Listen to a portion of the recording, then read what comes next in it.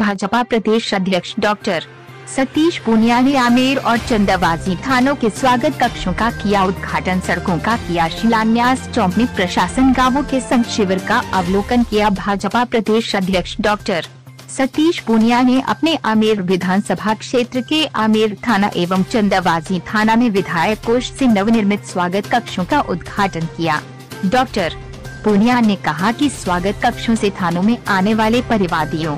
को सहूलियत होगी और आमेर परिवार के लोगों को एक अच्छा वातावरण मिलेगा साथ ही डॉक्टर पूनिया ने आमेर के विभिन्न क्षेत्रों में सड़कों का शिलान्यास किया, जिसके अंतर्गत नागल सावतान से पीली की तलाई की 90 लाख की लागत से तीन दशमलव शून्य किलोमीटर लंबाई की सड़क चिताड़ू कला से चंदाबाजी की सैंतीस दशमलव पाँच शून्य लागत की एक दशमलव दो पाँच किलोमीटर लंबाई की सड़क एवं चौंप पुलिया से भीवपुरा बगवाड़ा की पैंतीस लाख, लगभग की लागत की एक दशमलव एक किलोमीटर लंबाई।